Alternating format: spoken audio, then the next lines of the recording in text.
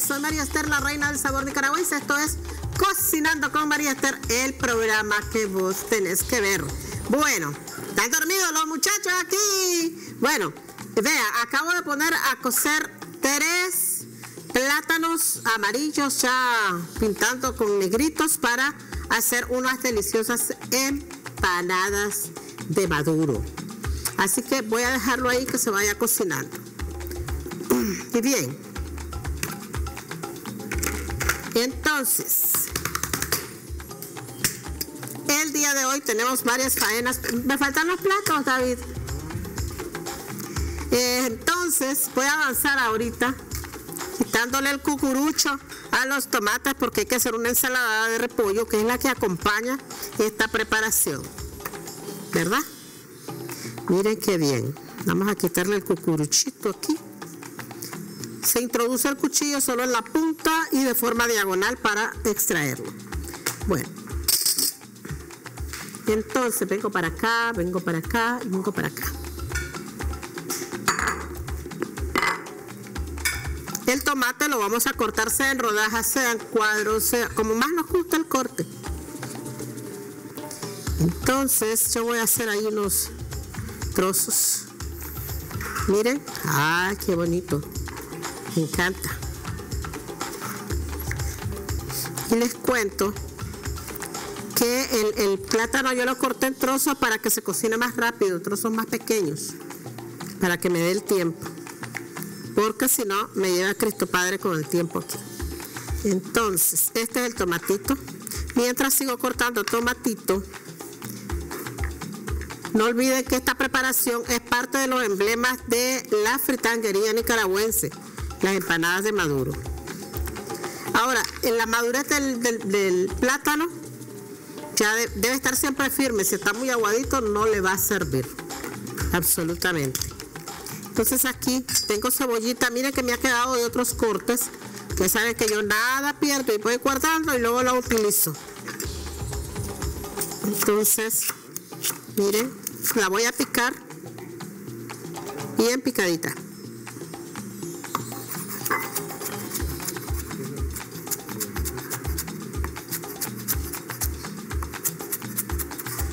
Se me está bailando la tablita porque no tiene nada abajo. Vamos a ponerle algo. Entonces, ya saben, un pañito apenas húmedo y eso detiene la tabla.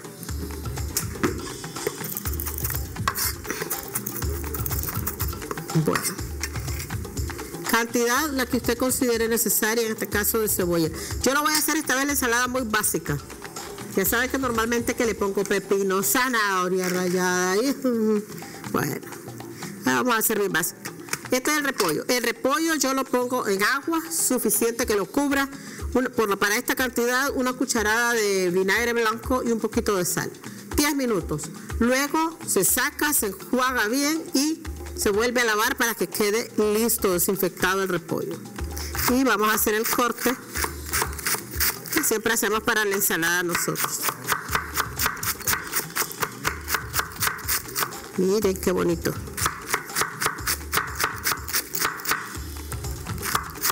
A mí me gusta que vaya lo más fino posible. Y ahora hay tanta pereza para hacer la ensalada que lo que hacen son unos trozos ahí que hasta que va a pesar.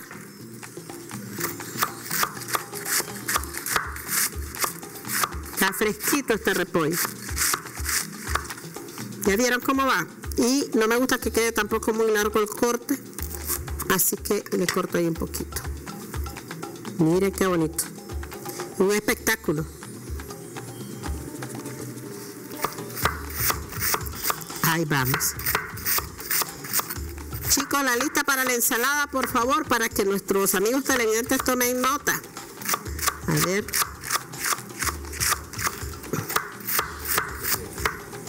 Dice que necesitamos una taza de repollo, por supuesto ya picado, ¿verdad? Necesitamos también dos tomates, que ya me vieron que los corté a mi gusto. Eh, un trozo de cebolla picadita, también vinagre de guineo se lo voy a dejar al gusto porque hay quien le gusta más ácido, hay quien le gusta menos ácido. Sal, chile o pimienta. según le guste. Miren.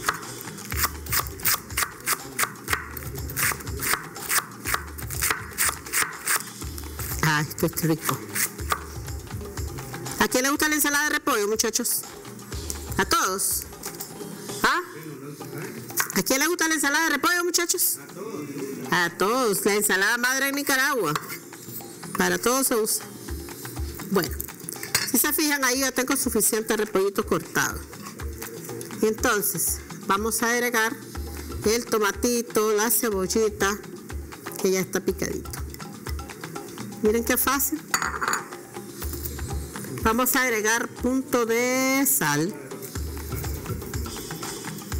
Punto de sal. En este caso punto de pimienta, pero si quiere chile, pues chile. Y vinagre. Al gusto. Es tan fácil cocinar, ¿verdad, muchachos? Facilito. Mm. Y ahorita yo quiero que el tomate vaya soltando parte de su jugosidad para el repollito. Por eso la ensalada la preparo con cierta anticipación. Miren. Y luego ya le doy su última removidita y ya prácticamente nos queda bien montada la ensalada. Vamos a guardarla, resguardarla. ¿Cuánto nos queda, chicos? Que no oigo nada yo. Vamos a un corte y ya vuelvo.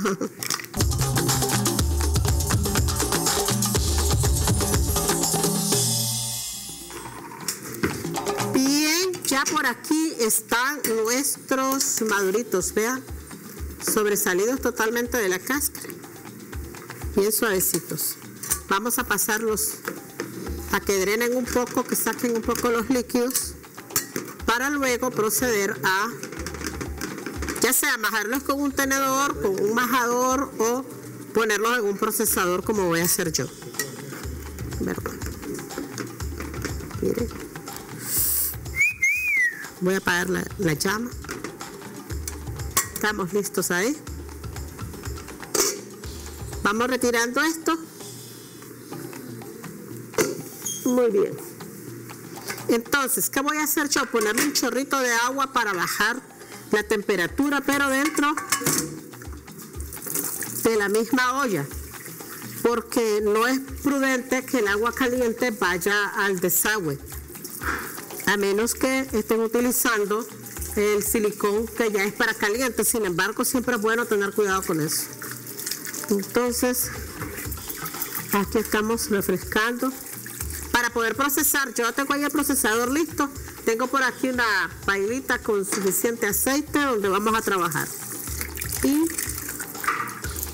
un platito, hijo. Bueno, vamos a sacudirlo bien para no trasladar líquidos. Gracias, el niño. Pásemelo, no se preocupe. Muy bien. Vean. Ahí están ya. Entonces, voy rapidito aquí. Vamos a pelar.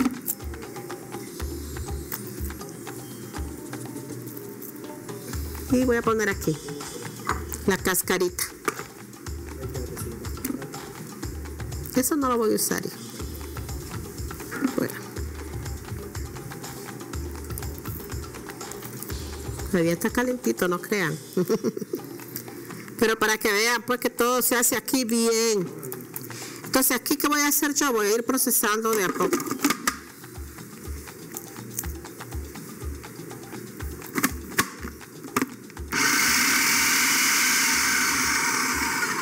¿Ya vieron? Balazo. Balazo, muchachos. Vamos a echar un poquito más ahí.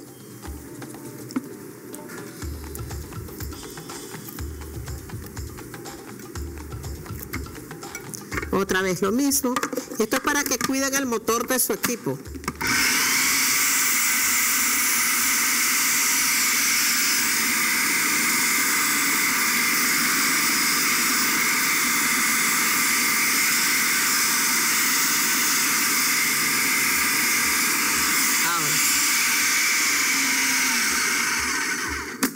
vamos a poner el resto porque aquí no entra muy bien entonces lo voy a tirar directo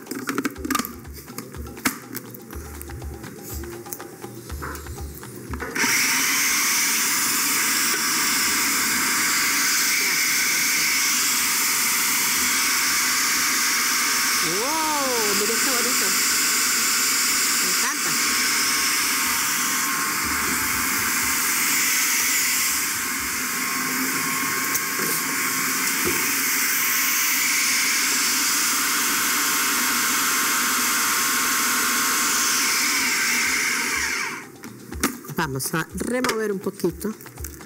Y mientras hago esto, yo acostumbro ponerle un poquito de queso aquí. Eh, les cuento que esta, esta receta la vamos a acompañar con crema la perfecta. La perfecta manera de acompañar las empanaditas. Me encanta, miren. Crema la perfecta en sus presentaciones. De 4 onzas, de media libra, de una libra y además con la opción de la crema dulce o la crema ácida que le va muy bien para el interés que usted tenga. Muy bien. Entonces, vea. Muy bien, ya tengo aquí procesado. Necesito el platito blanco hondo. Y voy a rayar el queso.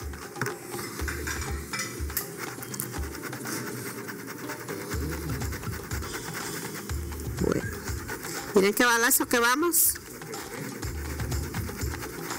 La lista, muchachos, para las empanaditas de maduro, para que la vayamos leyendo ahí.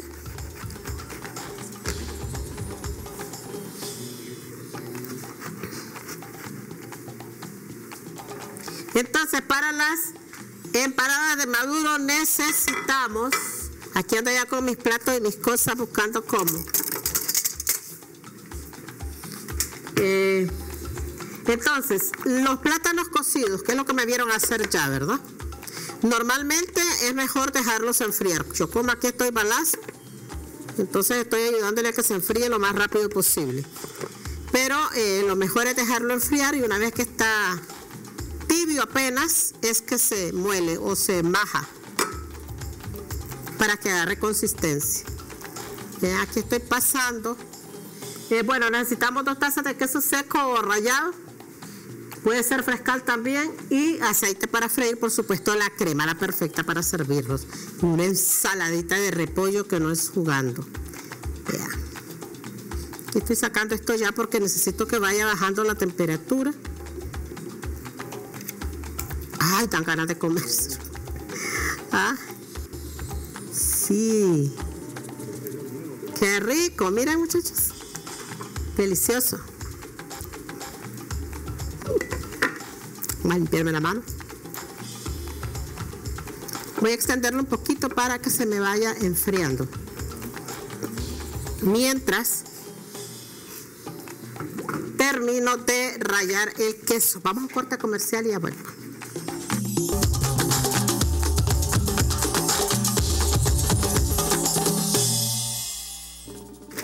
Bueno, aquí estoy con mis bolsitas plásticas que saben que las utilizo mucho.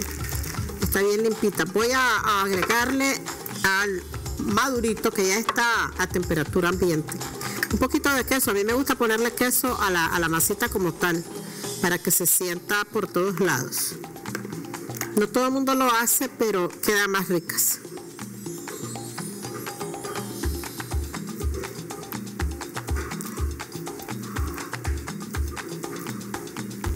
Ahí vamos.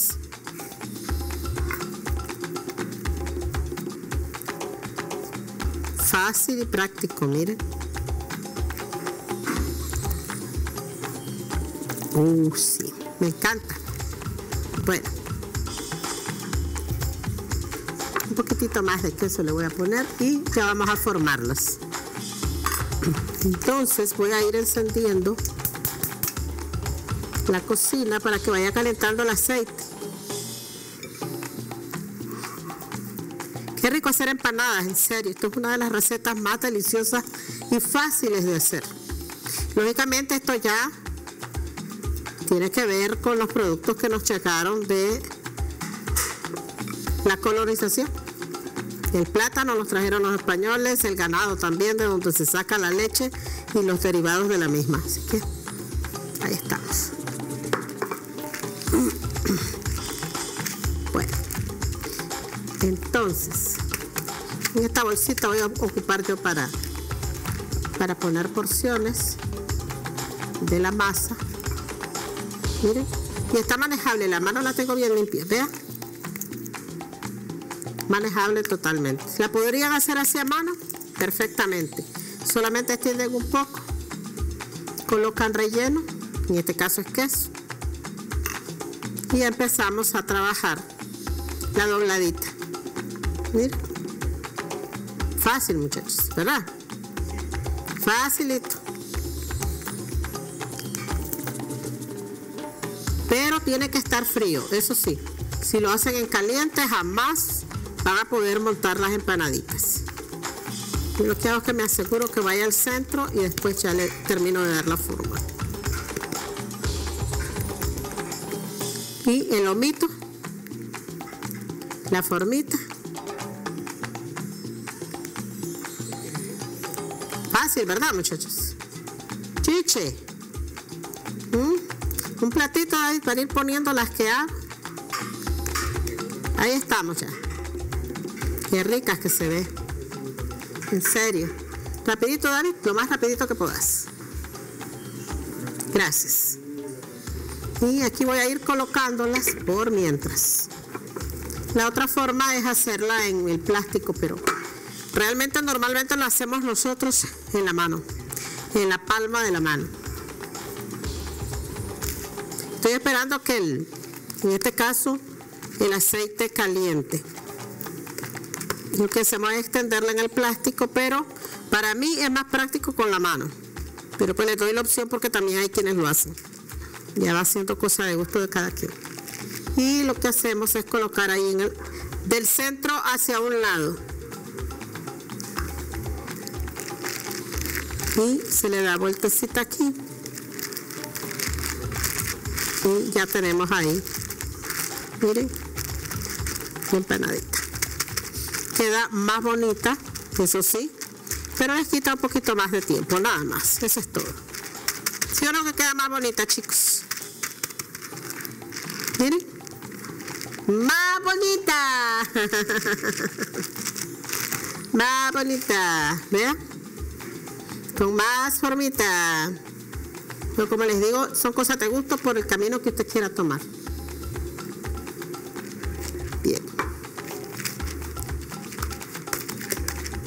¿Cuánto tenemos, chicos?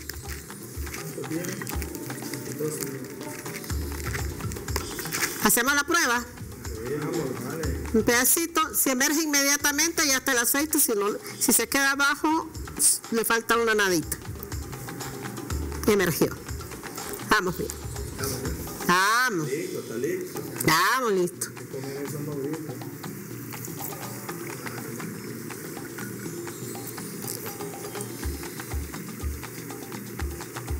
Vamos colocando ahí con cuidado de no quemarse. Y hay que estar listos para dar vuelta porque esto dura rapidito.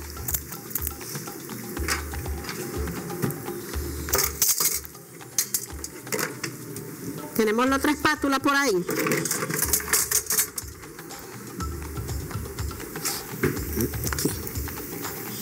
Entonces, hay que tener cuidado.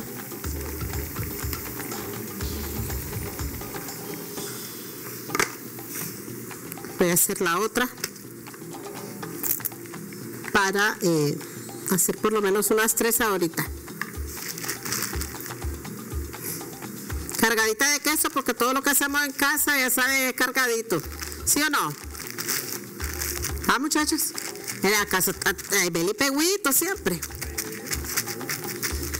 Bueno, vamos a ver si ya doró para darle vuelta. Claro que sí. Miren qué bonita, nos vamos a un corte comercial, ya vuelvo. Voy a dorar el otro lado.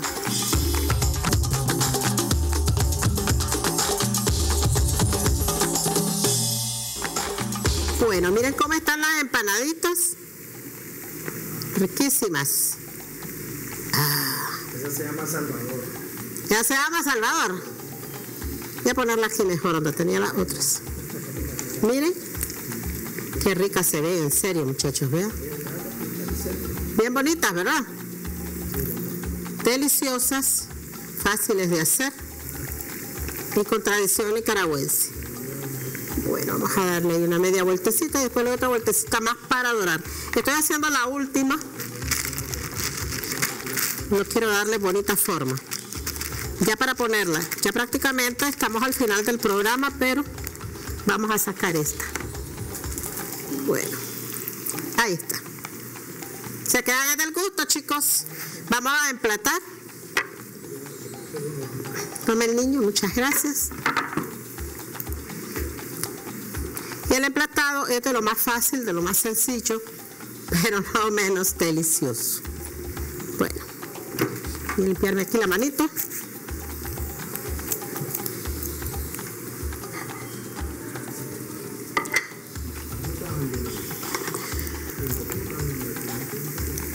Oh, miren muchachos. Vamos a ir dorando parejo. Mientras yo les voy a hacer el servido con estas, con esta dupla que tengo aquí, una hecha directamente de mano, miren, y la otra hecha con el plastiquito. Pues ya son cosas como usted lo quiera preparar, siempre va a ir bien. Por aquí tengo ensaladita, que es con lo que se acostumbra servir. Y por supuesto, cremada perfecta. Miren. Ah, ahora sí, era. Era sí. Cuéntame cuentos, pues. Para ir para llevar. Para llevar, por favor, todos. ¿Ah? Y si ustedes quieren, le ponen ahí un toquecito de crema, miren. La perfecta. ¿Qué más quieren? ¿Qué más quieren? ¿Ah? Díganme. La perfecta manera de comer empanaditas de Nicaragua. Vamos a dar vuelta antes que se me quemen. Mis amores, esto ha sido la receta del día de hoy, vean. Qué maravilla. Y esta ya, antes que se me queme, le doy vuelta. Y yo ya me estoy despidiendo. Así que será hasta la próxima con Cocinando con María Esther, el programa que vos tenés que ver.